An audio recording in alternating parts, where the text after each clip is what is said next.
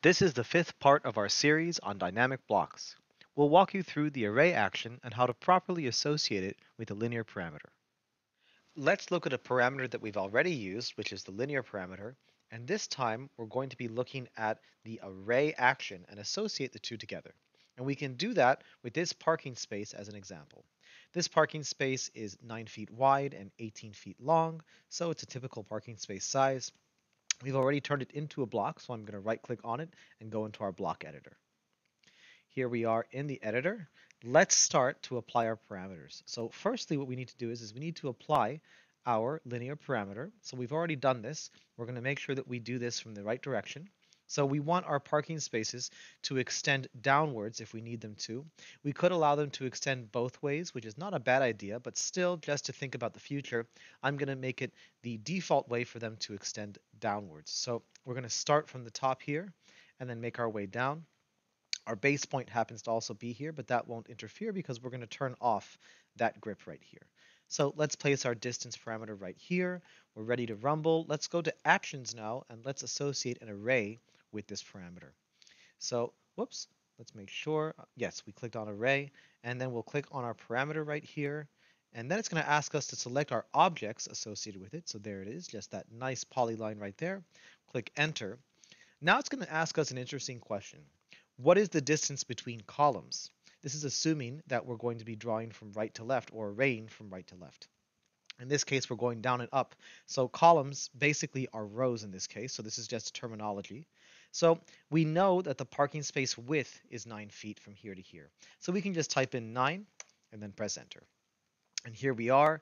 Our linear distance now has, our linear parameter now has an array action associated with it. Here's the array right here. But we're not quite done yet because if we try to test this right now, we're going to have some problems. For example, if I go to test block right now, we'll see that if I click on the parking space, I can drag it up or down if I need to, which is great. So here it is, it's now dragging down.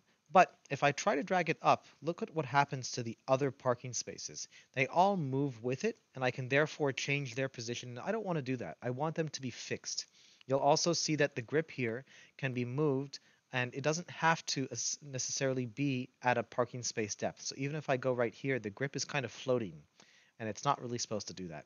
So we don't want to do that. So we're going to close our test block editor and make this a bit more sophisticated. And how do we do that?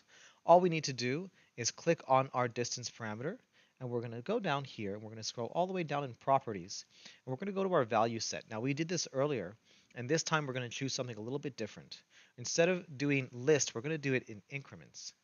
Uh, so now what we do is we're going to use increments and we can type in our increments right here. So we want our distance to be 9 units and our minimum this is why why the grip was able to basically go past the parking space or before the next one because there is no minimum essentially.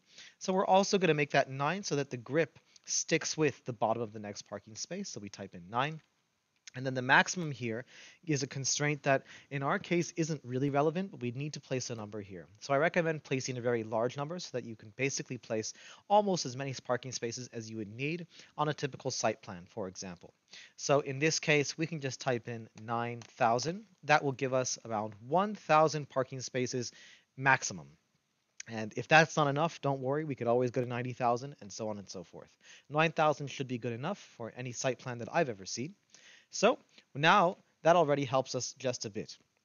And let's go and test our block. Let's see if this one's going to work as intended. Let's click on it right here and we can see the increments are already showing and it looks like they are showing indefinitely, which I find to be very interesting. And then I can just place my spots right here. Let's say that we place one right there and let's do the next ones up here. Beautiful. The other parking spots are not moving. So we can technically use these two grips if we wanted to. Let's say that we wanted to get rid of one grip. Let's close our test block editor. We'll do the same thing that we did earlier. We'll click on our linear distance. And now we can go into properties and we can go all the way down into the miscellaneous tab right below the value set where we changed our increments. And here's that number of grips one more time. So if I choose one instead of two, now the top one is gone. So now our proper base point will be showing itself. Let's close the block editor now that we're done with our block. Let's save our changes and let's make sure that it works. There it is. Now we have our base point and we have just one grip. It's always, if you choose one grip, it'll always choose the second one in your linear distance if you start from the top and then go down, for example. So 2 always allows for the first one to be shown, but that first one will be gone if you turn it off. And there it is. If we click on this grip right here, it's working as intended. We can now make basically a nearly an infinite amount of parking spaces if we need to without having to worry about copying and pasting too many times. And that's how this parameter and the array action works well together. Thank you very much for watching our series on dynamic blocks and how to associate parameters and actions to them. Once again, my name is Ari and I'm with Digital Drafting Systems. Hope you have an awesome rest of your day.